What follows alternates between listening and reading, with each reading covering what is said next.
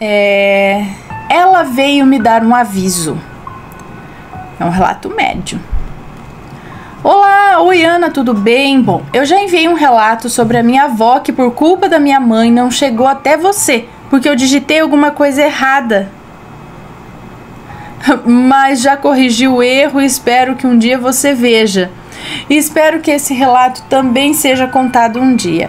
Esse relato aconteceu comigo. Eu estava meio com receio de contar, mas eu tive coragem e irei contar para você agora.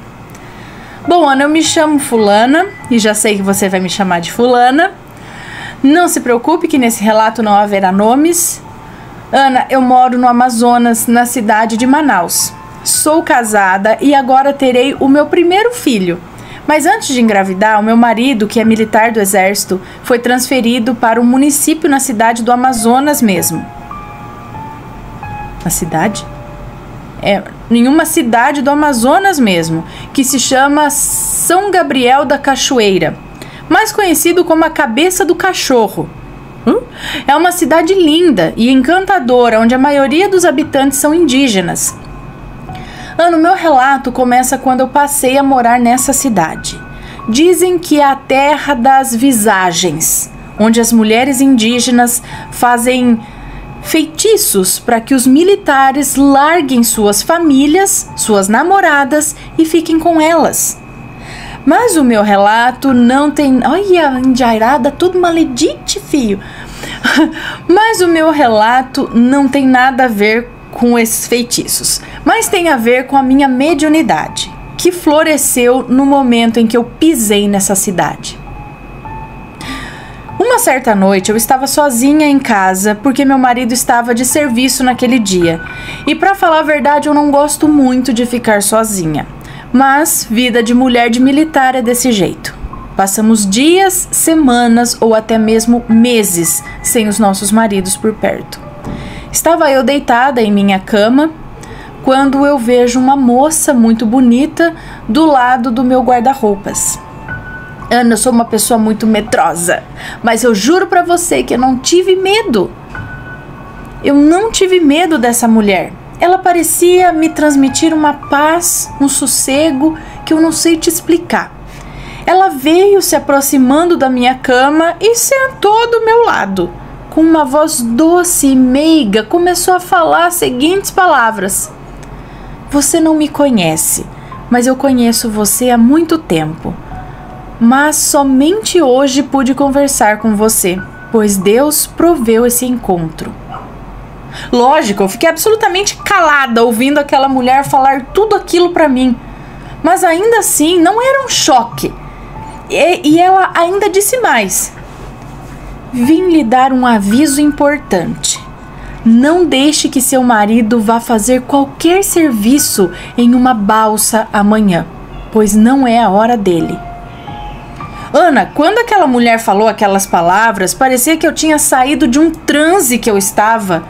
E ela simplesmente desapareceu diante dos meus olhos. Diante desses olhos que a terra há de comer um dia. Sabe aquela sensação de que você imaginou a coisa? Como se tivesse dormido e o sonho foi tão real e que você tá na dúvida se foi verdade ou não? Eu me senti desse jeito.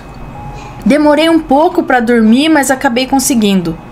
Quando foi no dia seguinte, eu fiquei com aquela coisa matutando na minha cabeça. Fiquei pensando se eu faria o que a tal mulher me falou, mas uma coisa no fundo do meu coração pedia que eu fizesse.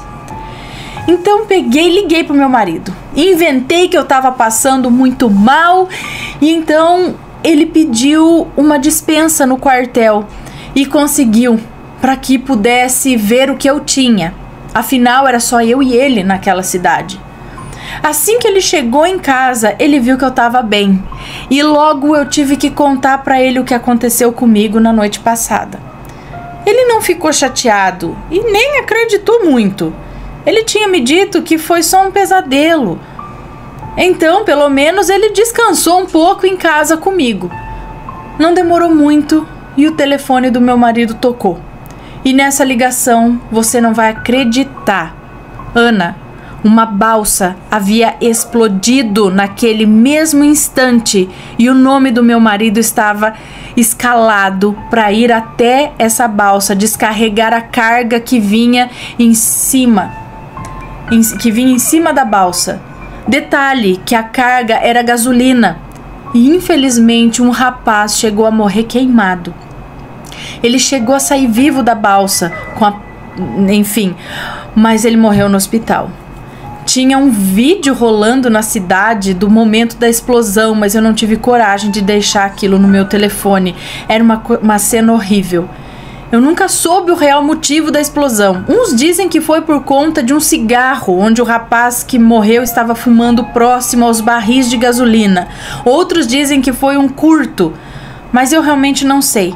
Eu só sei que hoje eu agradeço muito aquele aviso que aquela mulher veio me dar pois se não fosse esse aviso, hoje eu não seria casada e nem teria o meu primeiro filho. A partir daquele dia comecei a trabalhar a minha mediunidade. Fui até um centro espírita da cidade, onde lá eu pude entender muito mais sobre a espiritualidade. Eu tenho outros relatos, mas deixarei para contar outro dia. Obrigada, Ana, por ler o relato. Que Deus abençoe toda a sua família. Sou uma grande fã do canal. Um beijo e fica com Deus. Um beijo para você, muito obrigada. Gente, essa mulher, tipo, veio, falou realmente, ainda. Olha, como se a gente não dá ouvidos pra umas coisas dessa.